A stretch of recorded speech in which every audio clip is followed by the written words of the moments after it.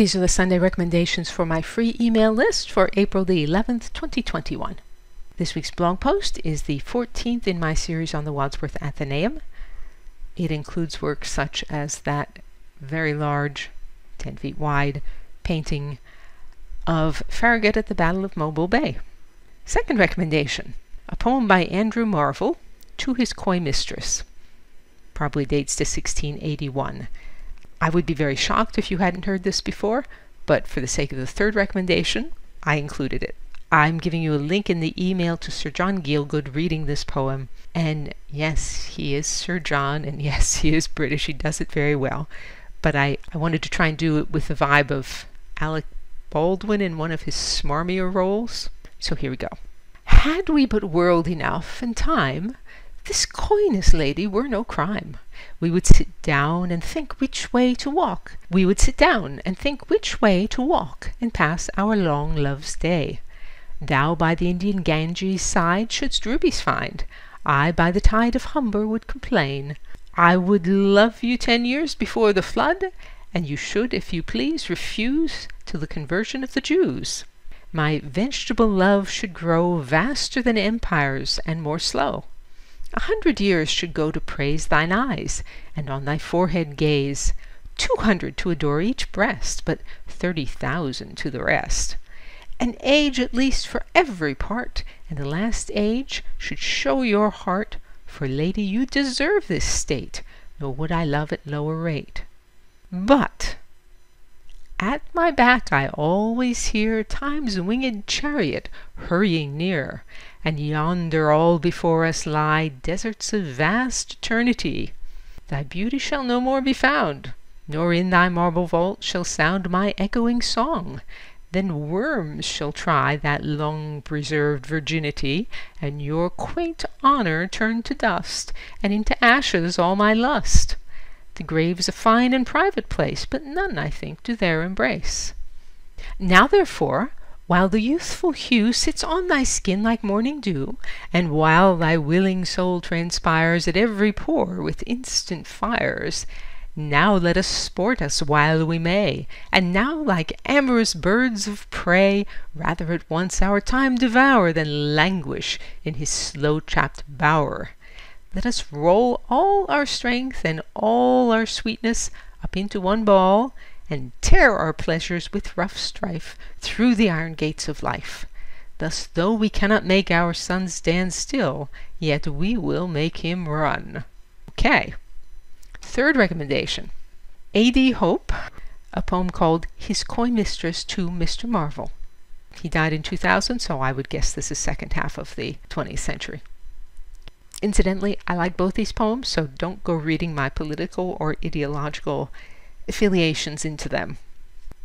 Since you have world enough and time, sir, to admonish me in rhyme, pray, Mr. Marvell, can it be you think you have persuaded me?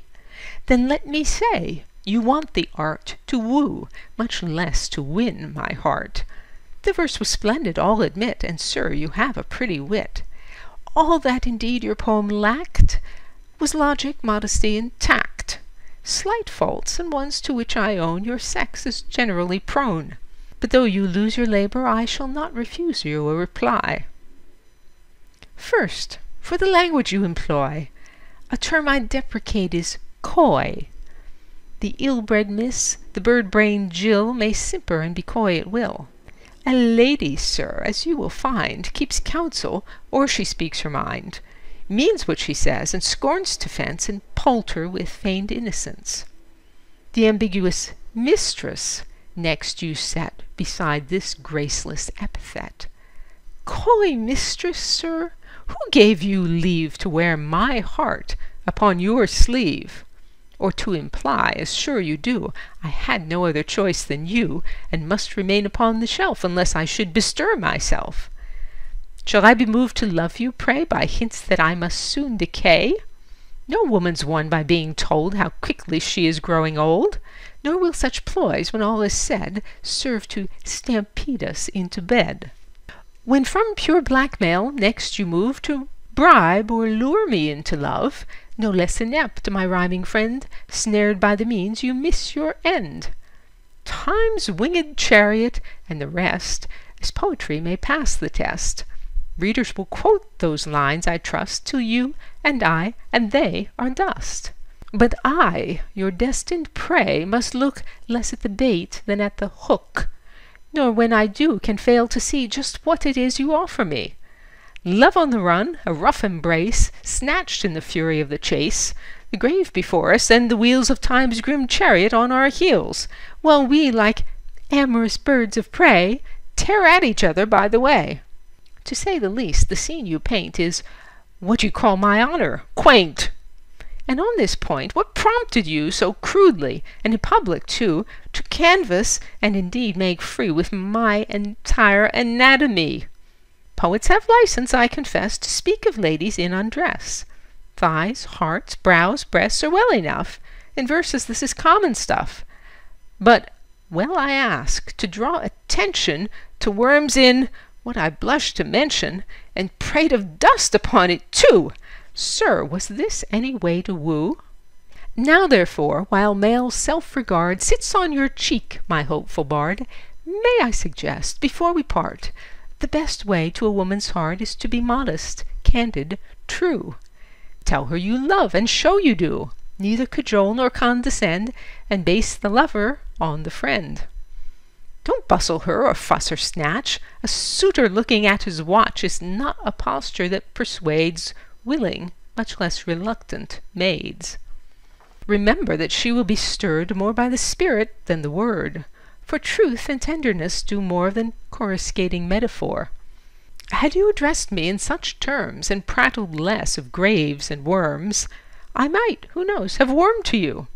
But as things stand, must bid adieu, though I am grateful for the rhyme, and wish you better luck next time. The fourth recommendation this week is a building by Louis Sullivan. DianneDuranteWriter.com has hundreds of posts on sculpture, painting, architecture, and my other obsessions.